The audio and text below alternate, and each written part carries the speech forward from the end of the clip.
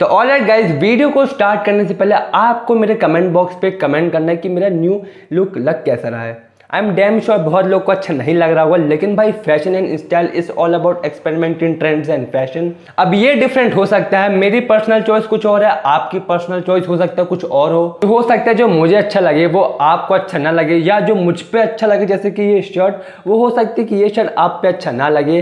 So coming back to the topic जैसे कि आप सबको पता ही है कि भाई मानसून का सीज़न चल रहा है, और इस समय हमारे चैनल में भी मानसून सीरीज़ चल रही है। पहले हमने मानसून फ़ैशन की बात करी थी, आज की इस वीडियो में हम बात करने वाले मानसून स्किन केयर के बारे में कि कौन कौन सी वो टिप्स होने वाली है, क्या वो रूटीन होने वाला है? आइए बात करते हैं। Well hey what's up guys this Singh Parihar and you are watching fashion only tips तो करें फिर शुरुआत। चलिए।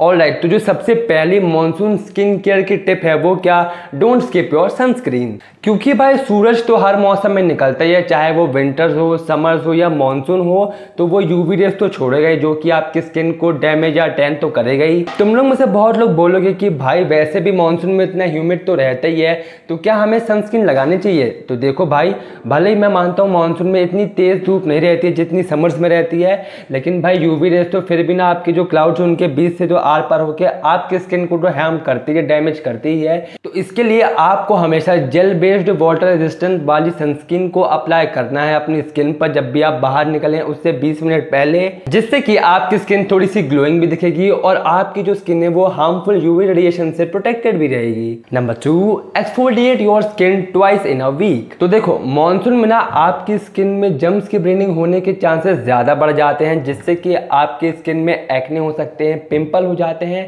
तो इसके लिए आपको हफ़्ते में दो बार एटलीस्ट एक्सफोलिएट करना है स्क्रबिंग करना है, जिससे होता क्या है कि वो आपकी स्किन के डेड स्किन सेल्स को रिमूव करता है और आपको एक fresh and shiny look provide करता है। और आज की इस वीडियो में मैं आपको एक स्क्रब को रिकमेंड करना चाहूँगा, जिसका नाम है वी नेचुरल सेंस की तरफ़ से इंडियन बर्बरी फेस स्क्रब इसमें मुल्तानी मिट्टी है पपाया पाउडर है और ये इंडियन बेरीबेरी स्ट्राइक के साथ आता है। और भी इसमें कई सारे नेचुरल इंग्रेडिएंट्स हैं।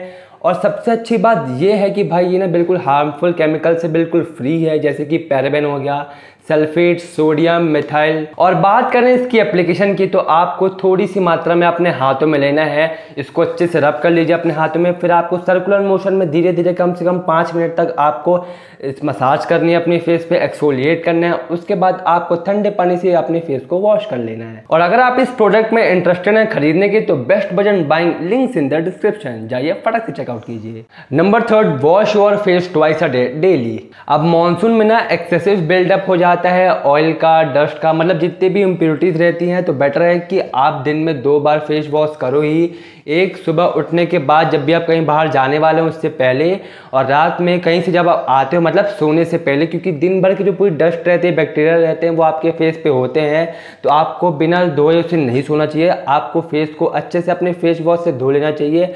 उसके बाद ही आपको मॉइस्चराइज करके, जो आगे मैं बताने वाला हूँ, आपको पूरी प्रोसेस करके ही सोना चाहिए और रात भर आपकी स्किन जिससे कि फ्रेश रहती है और आपकी स्किन को भी रेस्ट लेने का अच्छे से मौका मिलता है। Number fourth skin care tip है अप्लाई अ मॉइस्चराइजर रेगुलरली अब जैसे ही मानसून आता है ना तो ह्यूमिडिटी का लेवल भी राइज होता है, जिससे कि हमें ना फील नहीं होता कि हम मॉइस्चराइजर को अप्लाई करें, क्योंकि वहाँ चिप चिप हो रहा होता है। So make sure after washing your face you may use moisturiser और हाँ आपको ना लाइट जेल बेस्ड मॉइस्चराइजर का यूज़ करना नहीं तो ना आपकी स्किन ना बहुत ही ज़्यादा ग्रेजी हो जाएगी। Number fifth use a face mask once in a week जो कि बहुत ही पॉपुलर है होम मेड है ईजी है बनाने में, लेकिन स्टिल किसी भी फ़ैशन ब्लॉगर ने ये वाली रेमेडी नहीं बताई होगी। तो इस रेमेडी में हम ककड़ी, आलू और टमाटर का यूज़ करने वाले हैं। सबसे पहले हमें ककड़ी को अच्छी तरीके से मैश कर लेना है मतलब उसे हमें घिस के रख लेना है। फिर हम आलू को भी इसी तरीके से ग्राइंड कर लेंगे मैश कर लेंगे मतलब उसे भी अच्छी तरीके से घिस लेंगे। Then same goes with tomato also उसको भी हम अच्छी तरीके से मैश कर लेंगे।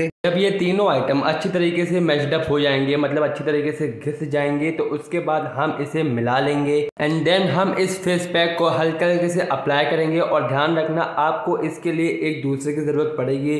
जैसे यहाँ पे मैंने अपनी मॉम की हेल्प ली है तो आप भी अपने किसी सिस्टर से या मॉम की हेल्प ले सकते हैं। ये आपके स्किन के डार्क स्पॉट्स को भी कम करेगा, आपके स्किन के टेक्सचर को भी इम्प्रूव करेगा और साथ ही साथ में ये आपकी स्किन को हाइड्रेटेड भी रखेगा और मॉइस्चराइज भी रखेगा एज वेल और हाँ अगर आपको अपने फेस पे इंस्टेंट ग्लो देखना है then this remedy is best for you and number six या लास्ट स्किन केयर टिप है look after your lips तो भाई मानसून में ना ह्यूमिडिटी का लेवल इंक्रीज होता है, जिससे कि हमारे लिप्स ना ड्राई होने लगते हैं। तो बेटर है कि आप अपने लिप्स को स्क्रब करो और अच्छे तरीके से लिप बाम का अप्लाई करो। आप स्क्रब के लिए आप हनी एंड शुगर का पेस्ट बना के उसे अपने लिप्स में अप्लाई कर सकते हैं। बहुत ही नेक्स्ट लेवल रिज़ल्ट मिलने वाला है आपको उससे। और हाँ आपको ना पानी भी बहुत ज़्यादा पीना है मतलब दो लीटर से ज़्यादा तो आपको दिन में पानी पीना ही चाहिए, जिससे कि आपके स्किन तो छोड़ो, आपकी लिप्स तक भी हाइड्रेटेड रहेंगे, जिससे कि आपकी ओवरऑल हेल्थ भी अच्छी रहेगी और आपकी स्किन एंड लिप्स हेल्दी रहेंगे।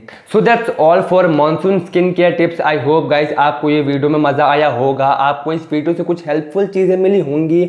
अगर मिली है then do like this video और अगर आप इस फेस को पहली बार देख रहे हैं, इस चैनल पर पहली बार विज़िट किया, इस वीडियो पे पहली बार क्लिक किया है।